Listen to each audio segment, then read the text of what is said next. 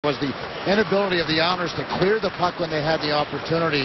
Again, it's an issue in this first power play that they struggled with. Good penalty kill, but now on come the Sabres, and Porter's denied by Nabokov.